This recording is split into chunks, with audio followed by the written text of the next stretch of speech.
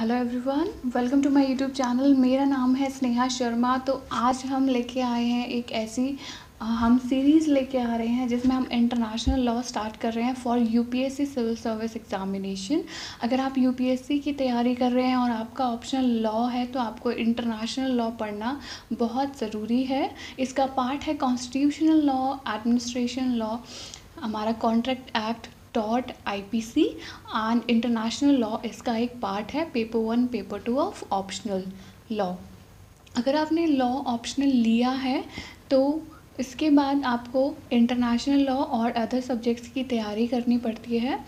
तो जैसे कि आप जानते हैं एग्ज़ाम नियर बाय आ रहा है प्रीलिम्स के बाद होगा मेंस तो मेंस की तैयारी के लिए स्पेशली ऑप्शनल पेपर लॉ के लिए, मैं लेके आई हूँ अपने यूट्यूब चैनल पे हमारी सीरीज़ जिसमें लेक्चर्स मिलेंगे आपको हर सब्जेक्ट में जिसमें हम नेचर पढ़ेंगे इंटरनेशनल लॉ का डेफिनेशन पढ़ेंगे रिकग्निशन पढ़ेंगे सब्जेक्ट ऑफ़ इंटरनेशनल लॉ कितने टाइप की ट्रीटीज़ होती हैं relationship between international law and municipal law next chapter आता है हमारा रिकग्निशन जो स्टेट रिकग्निशन बताता है। Law of sea international organization जैसे सारे चैप्टर्स हम कवर करने वाले हैं। तो प्लीज़ सब्सक्राइब करें लाइक करें एंड शेयर करें अपने एस्पिरेंट फ्रेंड्स को जो यूपीएससी की तैयारी कर रहे हैं फॉर 2021 और 22 के लिए। तो जिस, जब आपका मेंस का एग्ज़ाम आएगा, आपके पास इतना टाइम नहीं होगा कि आप प्रिपरेशन कर पाएँ। मोस्टली कोशिश करें कि आप प्रीलिम से पहले अपना मेंस का सिलेबस ख़त्म कर लें। तो ऑप्शनल की तैयारी आप अच्छे से करके रखें। फॉर एग्ज़ाम्पल आपने अगर लॉ सब्जेक्ट लिया है और आप लॉ ग्रेजुएट हैं तो आपकी उसको आप उसको नॉलेज होगी ऑलरेडी तो आप उसमें एक्सपर्ट बने और अच्छे से तैयारी स्टार्ट करें। सो so गाइस हम वीडियो स्टार्ट कर रहे हैं लेक्चर्स तो आज हम करेंगे लेक्चर वन जिसमें हम पढ़ने वाले हैं हमारा nature and definition of international law अगर आपको मेरी वीडियोस यूज़फुल लगती हैं तो प्लीज़ सब्सक्राइब करें शेयर करें एंड स्टार्ट करते हैं हम आज की video so friends lecture one है हमारा इंट्रोडक्शन ऑफ़ इंटरनेशनल लॉ इसमें हम देखेंगे इंटरनेशनल लॉ क्या है उसका मीनिंग uh, उसकी डेफिनेशंस दी गई हैं। कुछ वो हम देखेंगे नेचर क्या है इंटरनेशनल लॉ का। प्लस हम डिफ्रेंसीशन देखेंगे public and private international law में। तो ये कुछ इंपॉर्टेंट चीज़ें हैं चैप्टर वन में। अगर आप यूपीएससी की तैयारी कर रहे हैं और उसमें आपने ऑप्शनल में लॉ लिया है so international law will be a part of it and you have to learn it तो स्टार्ट करते हैं हम इंट्रोडक्शन ऑफ़ इंटरनेशनल लॉ आज के लेक्चर में। तो सबसे पहले हम देखते हैं जो इंटरनेशनल लॉ वर्ड्स है, उसका मीनिंग क्या है। ओके तो international law words were use for the first time by Jeremy Bentham Jeremy Bentham नाम के, ठीक है, एक ब्रिटिश जूरिस्ट थे, जिन्होंने 1780 में 1780 एटीन सेंचुरी की एंड में इंटरनेशनल लॉ का नाम लिया पहली बार। ओके तो वहाँ से ईजाद होता है हमारा इंटरनेशनल लॉ पहली बार यूज़ करा गया ऐसे वर्ड्स तो इसका मीनिंग क्या है डेफिनेशन क्या है और किस लिए यूज़ होता है, ये हम जानेंगे अपने अगले लेक्चर्स में.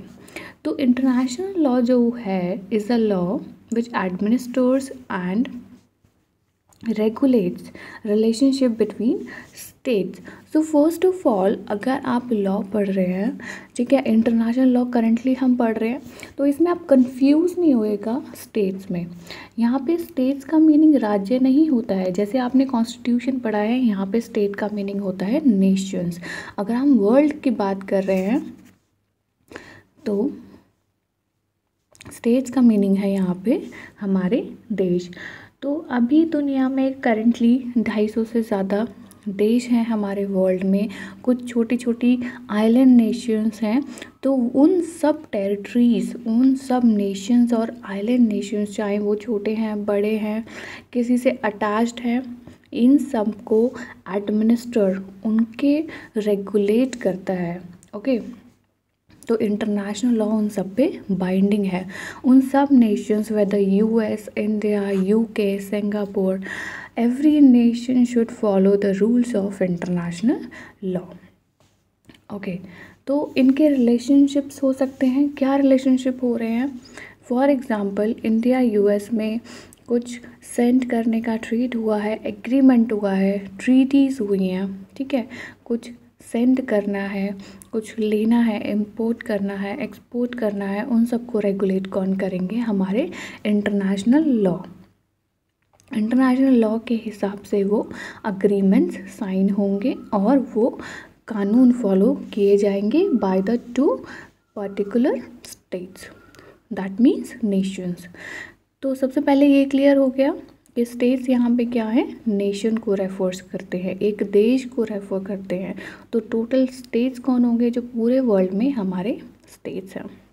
Right right.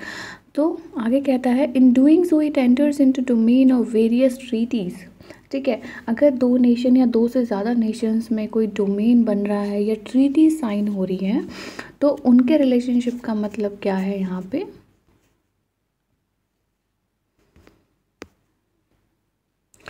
उनके रिलेशनशिप का मतलब है स्टेट्स एक या एक से ज़्यादा स्टेट नेशंस के बीच में एग्रीमेंट हो रहा है। इंडिविजुअल्स भी इसमें इंक्लूड होते हैं, ठीक है? इंडिविजुअल्स के बीच में साइन हो रहा है। International organization for example United Nation W T O ASEAN different different international organizations के बीच में या स्टेट से इंटरनेशनल ऑर्गेनाइजेशन के बीच में हो रहा है। तो स्टेट्स का मतलब है यहाँ पे ये सब कवर होते हैं। और फोर्थ है हमारा non state entities okay okay, तो ये चार चीज़ें हैं जो हम इंटरनेशनल लॉ के अंदर स्टेट को कंसिडर करते हैं। फिर जर्मी बैंथम के बाद ओपन हेम ने एक डेफिनेशन दी। उस डेफिनेशन को हम पढ़ते हैं। Oppenheim define Oppenheim definition के अकॉर्डिंग जो हमारा इंटरनेशनल लॉ है उसको क्या कहते हैं हम? लॉ ऑफ़ नेशंस तो ये इसका एक अलग नाम है also known as law of nations तो ये कॉन्ट्राडिक्ट करता है नेशनल लॉ को। ठीक है? नेशनल लॉ क्या होता है? नेशनल लॉ की अगर हम बात करें, एक कंट्री है फॉर एग्ज़ाम्पल इंडिया तो एक रूल बनाया गया है जो सिर्फ़ इंडिया पे ही लागू होगा। तो वो क्या होगा हमारा? नेशनल लॉ और इंटरनेशनल लॉ होता है contradict of national law that means law of nations यहाँ पे नेशन नहीं, एक ही, एक नहीं, दो और दो से ज़्यादा देशों की बात हो रही है। दो या दो से ज़्यादा इंडिविजुअल्स की बात हो रही है। इंटरनेशनल ऑर्गेनाइजेशंस की बात हो रही है। नॉन स्टेट एंटिटीज़ की बात हो रही है। समझ में आया? तो लॉ ऑफ़ नेशंस इसका दूसरा नाम है इंटरनेशनल लॉ का is the body of customary and conventional rules customary का मतलब क्या होता है? जो कस्टम्स होते हैं। जो फॉर एग्ज़ाम्पल हमारी फैमिलीज़ में काफ़ी सालों से दिवाली पे दिए जलाए जाते हैं तो बार बार वो यूज़ हो रहा है। ठीक है? कई सालों से वो कस्टम बार बार रिपीट हो रहा है। तो जब उसकी यूसेज होती है तो वो एक कस्टम बन जाता है। तो इंटरनेशनल लॉ में कुछ ऐसे रूल्स हैं जो बहुत टाइम से यूसेज में हैं रिपीट हो रहे हैं and that are known as international customs and conventional rules जो बहुत सालों से चले आ रहे हैं okay which are considered legally binding by civilized states तो ये जो रूल्स है कन्वेंशनल और कस्टम्स ये किसको फॉलो करने पड़ते हैं? जितने भी हमारे नेशंस हैं सिविलाइज स्टेट्स हैं इनको बाइंडिंग है इनको मानना पड़ेगा। In their intercourse with each other कब मानना पड़ेगा? जब ये लोग एक देश दूसरे देश से कोई रिश्ता बनाता है वेदर ट्रेड का एक्सपोर्ट इम्पोर्ट का मोस्टली या कोई पॉलिटिकल रिलेशन सोशल रिलेशन बनाता है या वेलफेयर रिलेशन बनाता है ओके okay, तो इनको ये इंटरनेशनल रूल्स फॉलो करने पड़ेंगे। फिर हम बात करते हैं एक और डेफिनेशन की, जो आई हमारी ओपन एम और जेरी बैंथम के बाद। मॉडर्न डेफिनेशन का मतलब क्या होता है? जो ट्रेडिशनल से अलग होती है, जो अभी रिसेंटली लोगों ने डाली है। तो मॉडर्न डेफिनेशन का मतलब है international law is a modern definition कहती है international law is a body of legal rules which regulates the nation of state same ऐसे रूल्स हैं जो लीगली बाइंडिंग है। लीगल का मतलब है यहाँ पे आपको उसकी इन्फोर्समेंट फेस करनी पड़ेगी, ठीक है? विच रेगुलेट्स जो हमारे हर देश और दो या दो से ज़्यादा स्टेट्स के रिलेशनशिप को रेगुलेट करता है। उसमें रूल्स डालता है जो उनको मानने पड़ते हैं with each other as well as their relationship with other international actors तो इसमें इंटरनेशनल एक्टर्स क्या हो गए? या तो इंडिविजुअल हो गया, या कोई और देश है, या इंटरनेशनल ऑर्गेनाइजेशन से कोई रिलेशनशिप बनाया जा रहा है। ओके okay, तो ये बात हो गई हमारी डेफिनेशंस के बारे में। अब आप अच्छे से जान सकते हो कि इंटरनेशनल लॉ क्या होता है इसका मीनिंग क्या है और इसकी डेफिनेशंस में कुछ हमारे जूरिस्ट हैं उन्होंने जो डेफिनेशन दी है उनके नाम आप याद रखें। फिर हम करते हैं next topic difference between public international law and private international law so international law भी दो टाइप्स के हैं, आप देख सकते हो। अगर हम पब्लिक इंटरनेशनल लॉ की बात करें तो ये नाम से ही क्लियर होता है कि ये पब्लिकली इम्प्लीमेंट है पब्लिक को फॉलो करना पड़ेगा। दैट मीन्स सारे नेशंस को बाइंडिंग है।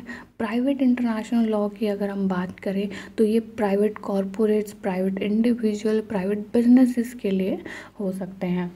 तो private international law regulating relationship between private person of two different state for example एक इंडिविजुअल यूएस में रहता है और एक इंडिविजुअल इंडिया में रहता है और वो अपने बिज़नेस या अपने कॉरपोरेट से रिलेटेड कोई रिलेशनशिप बनाते हैं। तो वो क्या आएगा हमारा? उनको क्या फॉलो करने पड़ेंगे? प्राइवेट इंटरनेशनल लॉ फॉलो करना पड़ेगा। वाइल पब्लिक इंटरनेशनल लॉ क्या होता है? Regulating the relationship between states तो स्टेट्स में यहाँ पे है देश, जो हमारी सरकार है। ठीक है? हमारी गवर्नमेंट है, हमारा लेजिस्लेचर है। इन दोनों के बीच में जो होता है for example government of India के बीच में या फिर यूनाइटेड स्टेट्स ऑफ़ अमेरिका के बीच में कोई रिलेशनशिप बनता है, ठीक है? फॉर एग्ज़ाम्पल कोई डिफेंस के पार्ट्स इंपोर्ट या एक्सपोर्ट हो रहे हैं तो उनको पब्लिक इंटरनेशनल लॉ का रूल फॉलो करना पड़ेगा। सेकेंड पॉइंट सेकेंड डिफरेंस क्या कहता है? In private international law rules are framed by the state legislature तो प्राइवेट इंटरनेशनल लॉ में कौन बनाता है रूल्स हमारा स्टेट लेजिस्लेचर बनाता है, ठीक है? एंड जो हमारा पब्लिक इंटरनेशनल लॉ है, उसमें रूल्स कहाँ से बनते हैं? इंटरनेशनल कस्टम्स एंड ट्रीटीज़ जो मैंने अभी आपको डिफ़ाइन किया। आगे आने वाले चैप्टर्स में हम पढ़ेंगे सोर्सेज सोर्सेज में हम पढ़ेंगे what is international custom and treaties these are types of sources उसमें हम अच्छे से पढ़ेंगे। तो आप सारी वीडियोज़ देखें, जिससे आपको पूरा टॉपिक क्लियर हो जाए। थर्ड डिफरेंस क्या है? थर्ड डिफरेंस है private international law is enforce by concern state executive ठीक है? तो रूल्स किसने बनाए? स्टेट के लेजिस्लेचर ने। अगर आपने कॉन्स्टिट्यूशन या पॉलिटिक्स थोड़ा सा पढ़ा हुआ है तो आपको पता होगा what is the difference between state legislature and state executive तो प्राइवेट इंटरनेशनल लॉ इज़ कौन इन्फोर्स करता है? रूल्स बन गए, लेकिन अब उन लॉज को, उन कानूनों को हमें रूट लेवल पे इन्फोर्स करना है, उनको लागू करना है तो वो करेगी हमारी स्टेट के executives while public international law is enforce by international pressure and fear for example तो पब्लिक इंटरनेशनल लॉ कैसे इन्फोर्स होता है हमारा? जब इंटरनेशनली लोगों का प्रेशर बनता है, ठीक है जैसे breakage of diplomatic relations for example Russia और इंडिया में कोई डिप्लोमेटिक रिलेशन है और उनके बीच में कोई प्रॉब्लम आती है और इंटरनेशनली सारी कंट्रीज़ बोलती हैं कि अपना डिप्लोमेटिक रिलेशन ख़त्म करो। तो ये कैसे फॉलो होगा? पब्लिक इंटरनेशनल लॉ के अकॉर्डिंग सैंक्शंस लग जाते हैं। ठीक है? जैसे यूएस ने इंडिया पे 1998 पोखरान जो हमारा न्यूक्लियर टेस्ट हुआ था फ़र्स्ट उसमें सैंक्शंस लगा दिए थे इंडिया पे। ओके तो फोर्थ डिफरेंस क्या है? फोर्थ डिफरेंस है private international law codes are predetermined while in public international law there is no predetermined code तो अगर हम प्राइवेट इंटरनेशनल लॉ की बात करें तो पहले से पता है हमें कहाँ जाना है हमें। लेकिन पब्लिक इंटरनेशनल के लिए कोई प्रिडिटमाइंड कोड नहीं है। फिफ्थ है private international law difference from state to state ठीक है? हर नेशन हर नेशन डिफरेंट है, ठीक है? Different nation different private laws बनाता है। अपने देश के अंदर जो बिज़नेस मैन है, उनके लिए कॉरपोरेट्स हैं, उनके लिए वेलफेयर एन जी सबके लिए अलग अलग हैं। तो ये कॉमन सेंस की बात है, ये पॉइंट बहुत ईजी है आपको समझने के लिए। While public international law is same for all the states तो पब्लिक इंटरनेशनल लॉ क्या होगा? जो हमारी सरकार पूरे देश के लिए बना रही है रूल लॉ बना रही है तो वो पूरे देश में लागू होगा। ठीक है? तो ये हैं हमारे फाइव पॉइंट्स किस चीज़ के difference between public international law क्या होता है और प्राइवेट इंटरनेशनल लॉ क्या होता है। नेक्स्ट टॉपिक पढ़ते हैं हम नेचर तो इंटरनेशनल लॉ का नेचर जानने के लिए सबसे पहले हमें जानना होगा एक स्टेटमेंट तो एक स्टेटमेंट है बहुत ही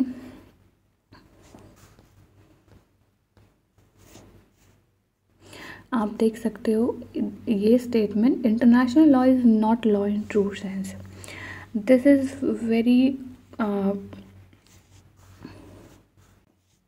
this is very controversial statement international law is not law in true sense जिसका मतलब है कि जो हमारे इंटरनेशनल लॉज है फॉर एग्ज़ाम्पल हमारे कौन कौन से लॉज हैं? आई पी सी टॉट कॉन्ट्रैक्ट लॉ तो लोग कहते हैं इंटरनेशनल लॉ जो है, वो असली में लॉ नहीं है, अगर हम सच में माने तो। तो इसके कुछ सपोर्टर्स हैं। ठीक है? इसके हैं कुछ सपोर्टर्स और कुछ है क्रिटिसाइज़र्स ठीक है? तो कुछ जो अगेंस्ट में हैं, वो क्रिटिसाइजर्स हैं, जो कहते हैं कि ये स्टेटमेंट गलत है और कुछ सपोर्टर हैं जो कहते हैं कि ये स्टेटमेंट हमारी सही है। तो अभी हम देखते हैं कि जो कह, जो लोग कह रहे हैं कि ये स्टेटमेंट सही है, ठीक है, कि इंटरनेशनल लॉ लॉ नहीं है सच में तो किस बेसिस पे वो बोल रहे हैं, वो की पॉइंट्स हम देखते हैं। तो सपोर्टर्स क्या कहते हैं? फ़र्स्ट पॉइंट सपोर्टर्स का व्यू है there is no legislature to enact the rule as municipal law municipal law आप सब जानते हैं, ठीक है? लोकल लॉज होते हैं हमारे, एक नेशनल लॉज स्टेट लॉज जो स्टेट में अप्लाई होते हैं और म्यूनिसिपल जो हमारे लोकल लेवल पे होते हैं। तो ये कहता है कि यहाँ कोई लेजिस्लेचर नहीं है, ठीक है? इसलिए ये इंटरनेशनल लॉ लॉ नहीं है, जैसे म्यूनिसिपल लॉ है। सेकेंड पॉइंट कहता है there is no executive authority कोई एग्जीक्यूटिव अथॉरिटी नहीं है to enforce international laws international law को रूट लेवल पे लागू करने के लिए कोई एग्जीक्यूटिव अथॉरिटी नहीं है. थर्ड पॉइंट कहते हैं ये supporters there is no judiciary तो क्या क्रक्स निकलता है इनका? कि ना कोई लेजिस्लेचर है ना एग्जीक्यूटिव है ना जुडिशरी है. ठीक है?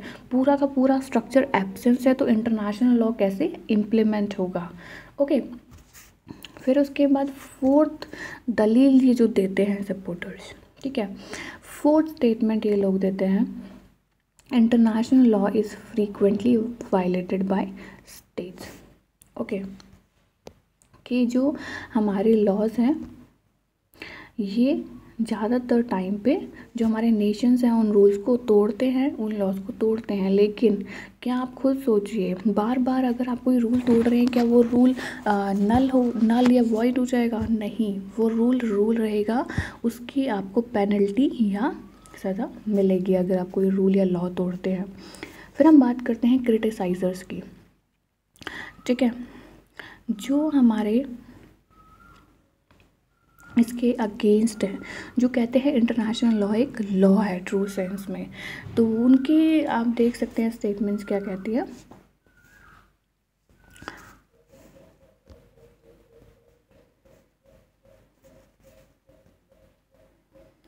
Okay okay. तो वो कहते हैं legislative body is in a shape of general assembly ठीक है? जो सपोर्टर्स है, उन्होंने कहा ना लेजिस्लेचर है, ना एग्जीक्यूटिव है। लेकिन जो इसके अगेंस्ट है क्रिटिसाइजर्स कहते हैं लेजिस्लेटिव बॉडी है, लेकिन वो किस शेप में है? General assembly and security council की शेप में है। हेयर कन्वेंशन और treaties created like a parliament जो भी हम ट्रीटी साइन करते हैं और कन्वेंशन है, वो हमारा पार्लियामेंट है। In fact here law is made with global expertise and quality input ठीक है? जहाँ यहाँ पे कानून जो बन रहा है इंटरनेशनल लॉ में, वो पूरी दुनिया के एक्सपर्ट्स मिलके बना रहे हैं विद द क्वालिटी समझ रहे हो? And the second statement is enforcement is in the form of pressure and fear वो कहता है कि इन्फोर्समेंट करने के लिए कोई एग्जीक्यूटिव बॉडी नहीं है, जो बॉडी चाहिए हमें. लेकिन क्रिटिसाइजर्स क्या कह रहे हैं? क्रिटिसाइजर्स कहते हैं, जब हमें इंटरनेशनल लॉ को लागू करना है तो वो कैसे लागू होता है? जब पूरे देश में फियर बढ़ता है, पूरे देश में प्रेशर पड़ता है एक सिंगल कंट्री या सिंगल ऑर्गेनाइजेशन पे तो वो अपने आप इन्फोर्स कर लेते हैं। उस वो नेशन पर्टिकुलर नेशन या करवाया जाता है कई देशों से मिलके, ठीक है? There are many mechanism of enforcement कई तरीके होते हैं रूल को लागू करवाने के लिए। फॉर एग्ज़ाम्पल डिप्लोमेटिक प्रेशर ठीक है? दो देशों के बीच में डिप्लोमेटिक प्रेशर बनाया जाता है कि हम तुम्हारी जो नीड है, तुम्हारी जो हमें जो एक्सपोर्ट करना है, तुम्हें नीड वो हम नहीं करेंगे, तब तक आप इस रूल को लागू नहीं करते। This is known as diplomatic pressure resolution passed against any country कोई कंट्री अपने पार्लियामेंट या अपने सीनेट कांग्रेस में कोई रेजोल्यूशन पास कर देती है किसी कंट्री के ख़िलाफ़ तो उसको लगता है कि जब तक हमें ये सैंक्शंस पास नहीं होंगे, तब तक हमारा काम नहीं होगा या रुक जाएगा तो वो ऑटोमेटिकली उस रूल या लॉ को इम्प्लीमेंट कर लेता है। एक्शन ऑफ़ सिक्योरिटी काउंसिल ठीक है? सिक्योरिटी काउंसिल जो हमारी लेजिस्लेटिव बॉडी है, वो एक एक्शन लेती है, जिसकी वजह से इन्फोर्समेंट होता है। तो सब तो जो हमारे इसके अगेंस्ट हैं, जो कहते हैं इंटरनेशनल लॉ इस लॉ है, वो पूरी डिस्क्रिप्शन के साथ बताते हैं कि ये कैसे इन्फोर्स होता है। थर्ड पॉइंट कहता है judicial machinery is in a form of I C J sorry ICJ है जो हमारी इंटरनेशनल बॉडी ठीक है? आईसीजे क्या? International court of justice this is in Hague in Netherlands तो ये है हमारी judicial machinery for judicial convictions ठीक है? तो judicial forum forum, ad hoc arbitrations, these are international bodies for judicial mechanism ठीक है? तो इन्होंने तीनों का डिस्क्रिप्शन दिया विद एविडेंस कंक्लूजन क्या निकलता है? तो जब हम नेचर पढ़ रहे हैं इंटरनेशनल लॉ का, हमने सपोर्टर्स को देखा, हमने क्रिटिसाइजर्स को देखा, उसके बाद हम देखते हैं कि क्या सच है। कंक्लूजन ये निकलता है इंटरनेशनल लॉ इज़ लॉ है हमारा, ठीक है? ग्लोबल लेवल पे है तो इसके कुछ डिफरेंट डिफरेंट कंसिक्वेंसेस है डिफरेंट डिफरेंट टाइप्स की फॉर्म है स्ट्रक्चर है। ठीक है, कोई पार्लियामेंट नहीं है, लेकिन कन्वेंशन और ट्रीटीज़ को पार्लियामेंट कंसिडर करा जाता है। कोई लेजिस्लेचर नहीं है, लेकिन जनरल असेंबली और सिक्योरिटी काउंसिल को एज अ लेजिस्लेचर देखा जाता है। इन्फोर्समेंट करने के लिए हमें काफ़ी सारी काउंसिल्स दी गई हैं और हमारा जो ग्लोबल प्रेशर पड़ता है उसकी वजह से फियर बढ़ता है लोगों में और अपने आप लॉज इम्प्लीमेंट करने पड़ते हैं। आईसी जैसी ICJ international court of justice जैसी बैठी हमारी आर्बिट्रेशन फॉर्म है जो हमारी जुडिशल प्रोसीडिंग्स करती हैं against these against those nations those states of world who violated the international laws in any form okay so international law is a true law it cannot be it can not be compared with municipal law तो इन्होंने first point में कहा था कि municipal law की तरह नहीं है लेकिन हम इसको कंपेयर नहीं कर सकते ये ग्लोबल लेवल पे है म्यूनिसिपल लॉ लोकल लेवल पे है अंडर अ नेशन ठीक है because its origin and subject matter is totally different इसका ऑरिजिन जहाँ से ये पैदा हुआ है, जहाँ से ये निकला है इंटरनेशनल लॉ और इसके जो सब्जेक्ट्स हैं क्या क्या इंपॉर्टेंट पॉइंट्स हैं इसके अंदर क्या क्या चैलेंजेस हैं, वो बहुत ही डिफरेंट है, बहुत ही अलग है तो हम इसको कंपेयर नहीं कर सकते म्यूनिसिपल लॉ से। और इंटरनेशनल लॉ क्या है? हमारा एक ट्रू सेंस में लॉ है, एक सच में लॉ है, और लॉज की तरह। सो so फ्रेंड्स ये था आज का हमारा लेक्चर वन जिसमें हम इन्हें डिटेल में इंटरनेशनल लॉ का चैप्टर वन कवर करा।